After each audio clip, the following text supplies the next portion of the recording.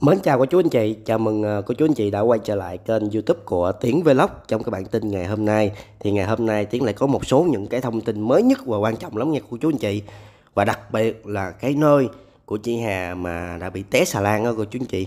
Xảy ra rất là nhiều những cái chuyện lạ Và phải đây là điềm báo cũng giống như là để mà ờ, nhờ một ai đó với sức mạnh tâm linh là chỉ ra vạch trần ra những cái tội lỗi mà anh Tuấn này đã làm đối với chị Hà hay không? Thì sau đây Tiến xin mời cô chú anh chị chúng ta cùng nghe. cái tiền chị Hà đó cái vỏ nào đâu? Đó cái vỏ đó đó.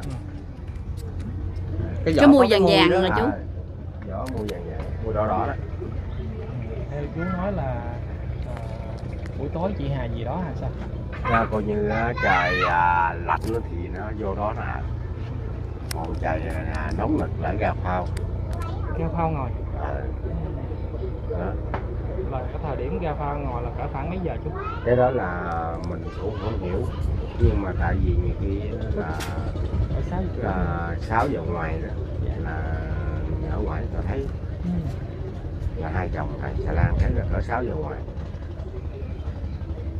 Có phải ngồi trên cái phao để cho người ta, người ta thấy được kêu quan không chú hay là cái đó là cũng như là nhiều khi người ta thấy cho thấy rằng mà biết cái linh hồn chưa về nhà vậy thôi cũng như là chị muốn cho xanh quanh ở đây thấy đặng biết là chị chưa được về nhà. À,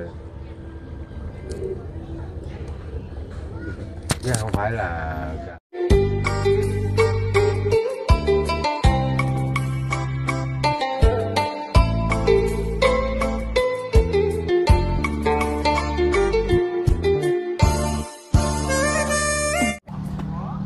con chào chú nghe chú mấy hôm gầy à, có thông tin nào mới chia sẻ cho mấy con biết coi chú? Mấy gà thì thấy cũng có có gì đâu thì à, quay qua quay lại cũng à, coi ba cái clip đó thì à, chưa có nghe thấy cái tin tức gì mới hết trơn. Mấy gầy chú có đi cào nữa không? À, không có đi cào thả lưới dạ. Rồi nghe mấy gài nói hai nó điện mà nói ở ngoài vô nó lặn đó mà sao không thấy chiếc bo bo nào hết trơn. Vậy hả? Chú nghe lâu chưa mới à. Lúc ờ, chị Hà mắc tới giờ có ai ở đây khu vực này thấy chị không chú coi như là xà lan ta bây giờ cái phao nó thẳng ra là xà lan lại yếu bóng vía ban đêm là ta không à, mấy người yếu vía là không dám để đó đậu ghê vậy hả chú? Hiện giờ là cái phao giờ là nếu mà ai đậu đó đậu ban ngày thôi chứ ban đêm nữa lui xuống phao thứ hai là cái gần chỗ chị Hà nổi hả chú? Ngay chân cái phao của à, xà lan hà đây chỗ huynh à, bước xuống của đó phải không huynh huynh À, bước như, xuống. như thế nào chú ờ, chia sẻ lên cho cô bác biết thêm ờ, thông tin này. thì coi như là một chiếc xà lan của trước đó là hai vợ chồng nó lại. Ừ. là đậu nặng mở vô trong kho chợ gạo nó nhận gạo đó. Là ngang chỗ cái phao của xà lan hà đậu đó. Chỗ bằng tải đó thì hai vợ chồng nó là mới vừa tối thôi vừa sụp à, mặt trời. Vợ nó thấy một người á cũng không mập quá mà cũng không ốm mà cũng vừa người lắm. Thấy lên cái đứng trên cái phao mà ngồi rút như là nó lạnh vậy đó. Ừ. như người bị lạnh vậy đó. Chịu mà còn rồi cái à, vợ nó nó lẽ nó qua mắt kêu chồng ra. Dạ. Nó kêu chồng ra chồng cũng thấy vậy nữa thấy luôn thấy y gan luôn. Ờ nói là có người cũng uh, mà vậy, vậy đó rồi à, hai chồng quán phòng mở dây chạy vô bờ đậu. Đâu dám đậu ngoài đâu. Vậy là hai chồng đó cũng đi xà lan luôn. Xà lan luôn, Ờ, lại- cái phao chỗ xà lan. Xà lan nổi. À, lại ngay chân chỗ cái phao đầu mình đó. là người vợ thấy thấy cái Ờ. uh, giống là chị Hà phải không? Ờ. rồi sau đó không tin vào mắt mình thì mới kêu gọi người chồng ra đến đó à, nha. Rồi thì kêu à, mời chồng ra chồng ra giờ thấy y gan luôn. Là hai chồng vẫn còn cúng neo đi luôn. Cuốn ờ, dây dây là mở dây là vô bờ đậu vô chỗ mấy bằng tải sáng xuống gạo luôn đó. Sáng là bà kể cho kho người ta nghe là kho người ta um sùm chân á. vậy ờ, theo thì cách nhìn cách nghĩ của chú là chị ờ, chú có nghĩ là chị Kim Hà còn lẩn quẩn ở đó không nhưng hiện bây giờ bây giờ á là hình như là Hà chưa có về cái hồn chưa về chảnh đâu. Chưa về nhà được ha. Sao hôm đó là tại vì á, theo mà ý ờ, cái ý của tôi đó nếu mà giờ băng ờ, băng ngày trời nóng nực nè thì cũng vô chứ ở dưới vỏ đó. Theo như chú ờ, cảm nhận là vậy luôn hả chú? À, à, cái vỏ là như thế nào chú cái vỏ mình chạy ờ, đẹp chi hả kìm hạ cái trục vớt lên ờ, mình đi cào lên đó. là vì nó nổi là nổi sát cái bè cái mũi vỏ đó. À, chính là tôi thấy trước. Dạ đúng Một rồi cách bữa cái mũi chú vỏ thấy. chỉ là khoảng chừng 3 mét. Ừ. đó. nhưng mà đối về á thì nhiều khi đi chơi về ban đêm rồi à, tôi đi à, thiêu vũ với đi hát về Chú- đậu. Lớn lớn lên tí. Đi à, thiêu vũ với đi hát về đó ngang chỗ cái này nó lạnh sống. Cảm cảm À, nhận chú lạnh sống luôn. lạnh sống mà đầu lại giờ cũng có có gì không thấy mà hôm nay là gì không? Dạ. Mà vô tôi thì nó vô không nổi nó nhập tôi hơn nó vô tôi vô không nổi. Là tất nhiên là bây giờ theo chú chú nhận biết được là chị Hà còn lẫn quẩn ở sơ- cái thau hoặc là trên cái vỏ mà đã tìm vào Còn- tại vì ai cũng thấy chị đó hả chú? Cách đây à, khoảng chừng hai đêm dạ. Là tôi nằm tôi thấy rõ ràng luôn. Một à, người à, mập. Với một người thon thon mọi người thon thon vừa người đó thì không có thấy cái à, không thấy cái mặt. Nha là tôi thấy cái bà đó bà không mà bà mập mà tướng cũng còn trẻ chứ giờ không có năm ngoài. Nó kìa kìa hạ đi kìa. Tôi ngủ tôi thấy rõ ràng luôn đó. mà tôi cũng dám nói nếu mà sao thì cho tôi thấy đi. Tôi điện, tôi kêu à, anh ba à, của cô xuống cho mà trục hồn về. Đó.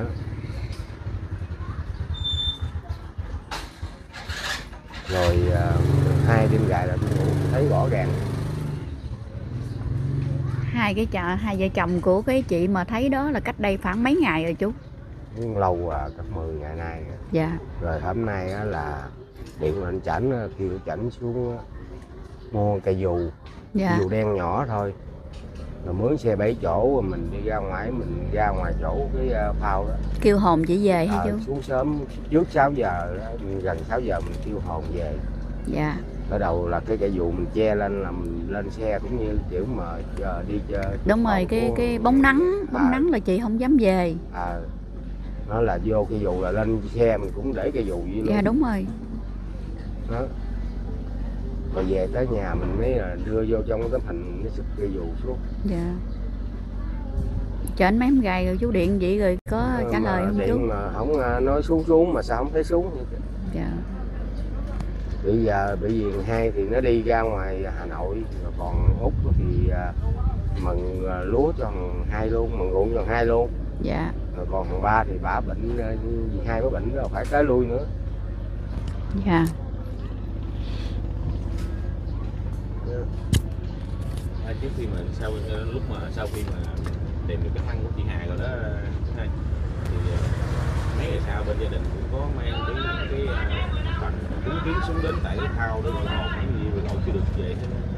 Tại vì nhiều khi mình nói phải nói nhiều khi nó bên kia đó bên à, mà nhà chồng nó nhiều khi chơi bùa chú gì sao á. Chơi ra nếu mà đối về cái linh hồn mà mình chục thì về thôi chứ có ở đâu. Nhưng mà có thể là người ta nói, mình nghe cái bà đó lại đây nè, bà cho mượn cái xác luôn. Bà nói là hà bị là cái dáng bùa quán quái là không có thấy đường đi về. Dạ cái người đó về chị Hà nhập về rồi nói vậy luôn hả chú? À, coi như là giờ xuống đây là cho mượn cái xác.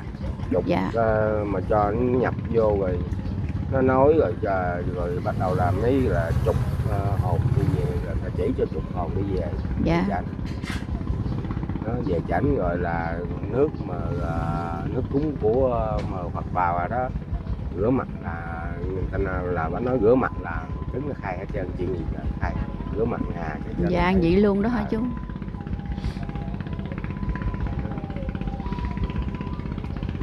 Chứ à, bây giờ cái nhiều khi cái linh hồn gì đó rồi để giấc giữa giữa hoài chứ nhiều khi cái chết quan chết tức này chưa có về được đâu. Dạ.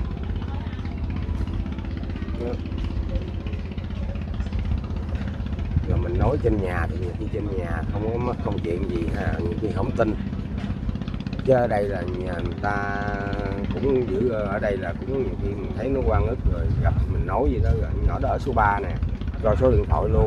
Nói chừng nào có xuống thì điện nó ra. Dạ. Đó. Cái này là mình không phải là mình à, nói là bùa chú hay thầy bà gì mình không phải tin nhưng mà điều cái nó cũng đâu biết cô Hà ra làm sao đâu. Cái bà nhỏ số 3 vậy đó hả chú? Rồi cách đây xa không cái chị đó đó?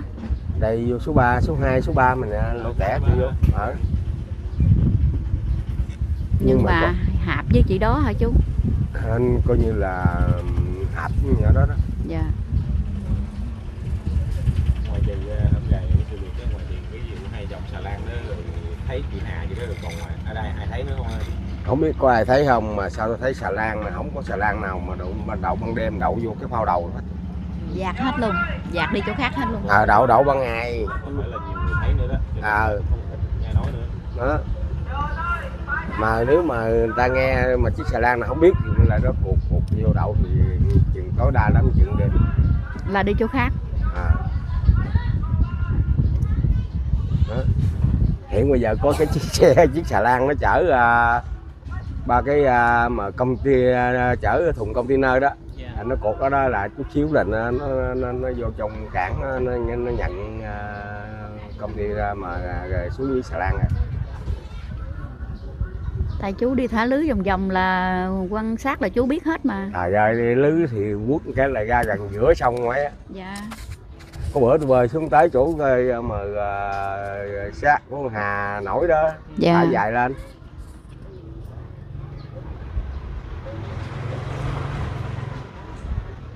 ngày sông nước mà. Hả? Thả một ngày gặp gì? Ngày. ta đi chơi đi à, đêm mà quỷ sứ chưa sợ nữa chuyện đó gặp. Cái cái cái trên cái cái chiếc giỏ mà mình đi cào mà dính chị Hà đó là mình biết ban đêm hết không ngày cái này à, tại vì nhiều khi không phải là mình à, ngủ thì nhiều khi bà đó mới nói mình ngủ mình để ý mình mới biết. Chứ phần nhiều khi á đâu đâu có sợ gì. Thiệt. Mình đi chạy về cũng như cái, cái kiểu mà hồi lúc mà đi ra ngoài cúng à, cúng ờ, để giái kiếm xác hà đó. Là chạy xéo vô gốc xà lan là nó giận sống đâu gì. Về đi chơi về ngang này được.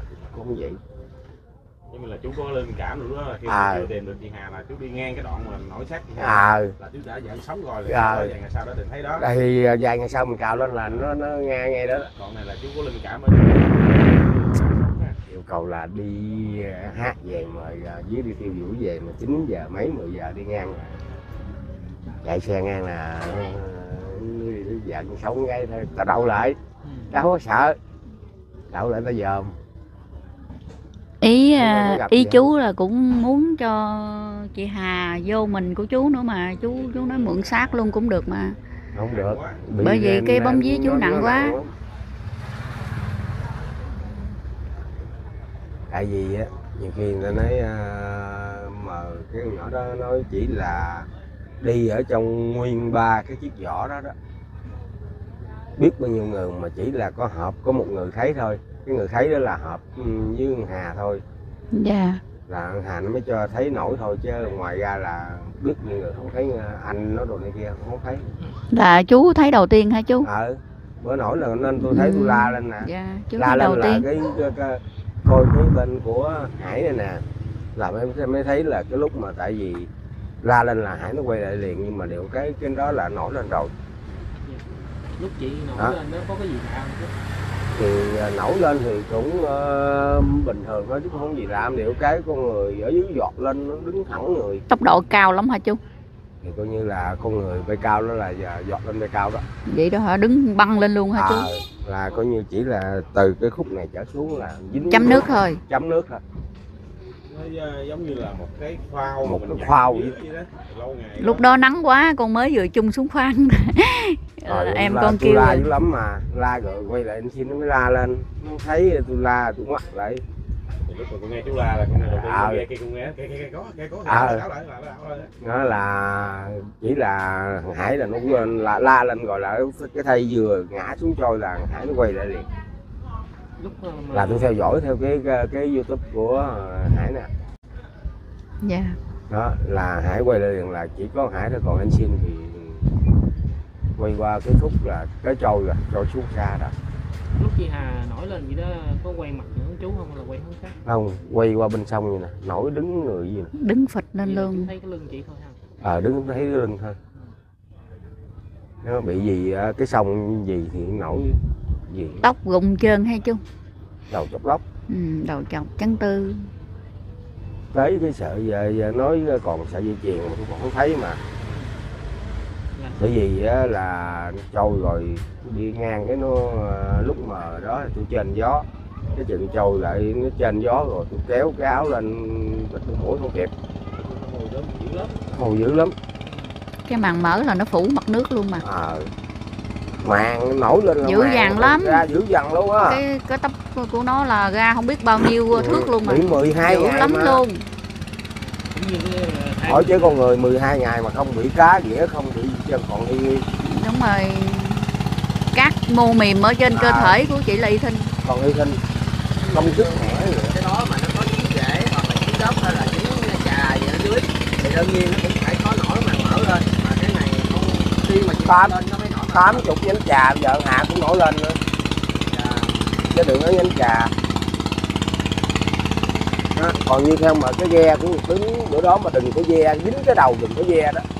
Dám bảo đảm là ở đầu cứ phải lặn lại lặn xuống là biết cái vật chất gì dưới liền.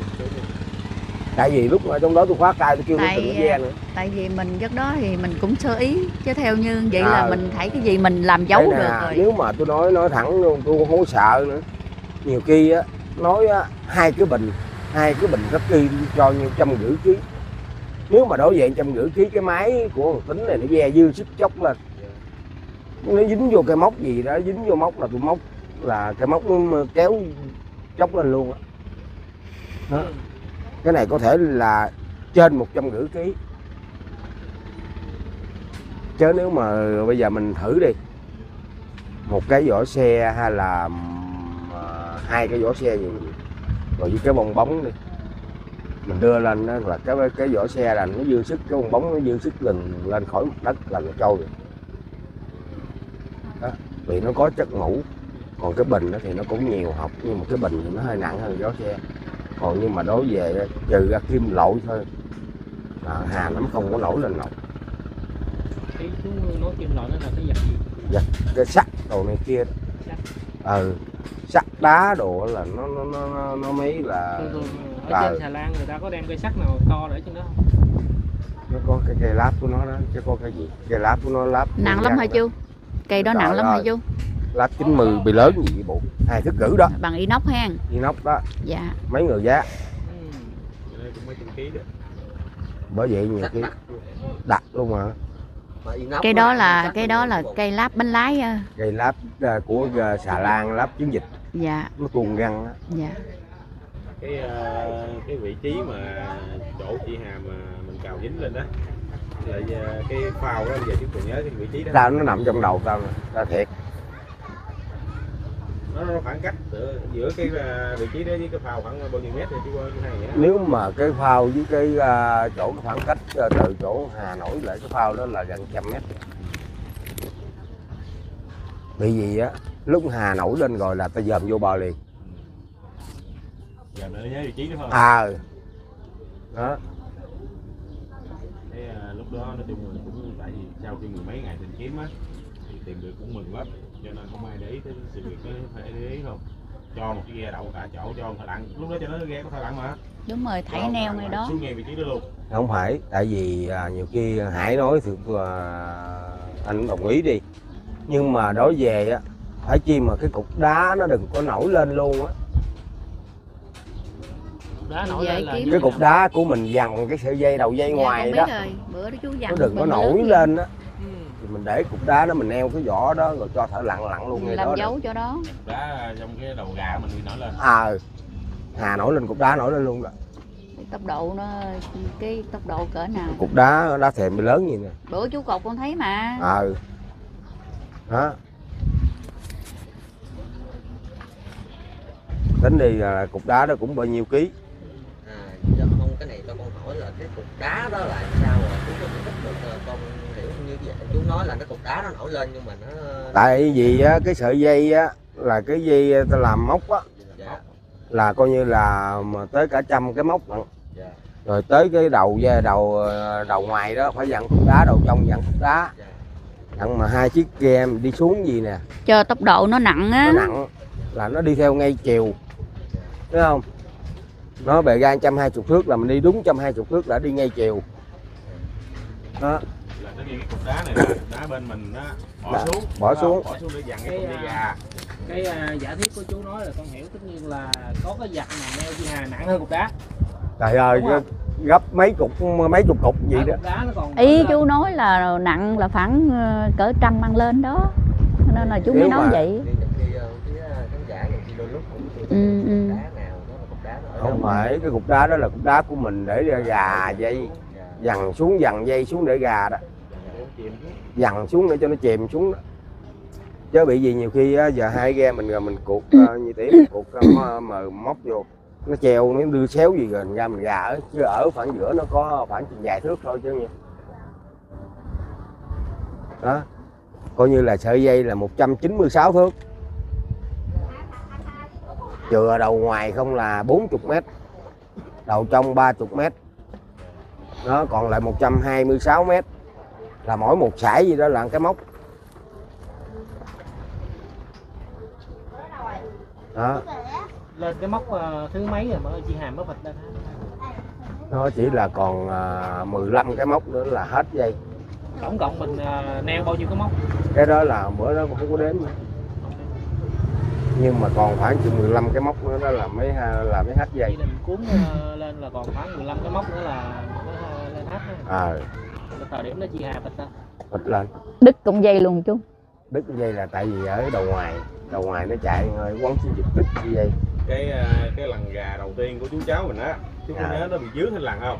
Dướng cái đó là dính luôn đó dướng cái đó tại dính đó theo như con cô chú anh chị đã nghe thì không biết là cô chú anh chị có tin vào những cái hiện tượng này không? Thì hãy để lại cái phần bình luận phía bên dưới để có thể trao đổi cùng Tiến Vlog cũng giống như là tất cả cô chú anh chị đang xem trên kênh của Tiến Vlog. Thì một lần nữa Tiến cũng xin cảm ơn và hẹn gặp lại cô chú anh chị trong những video tiếp theo. Cô chú anh chị thương tình nhớ nhấn like subscribe và chia sẻ giúp em nha. Xin chào cô chú anh chị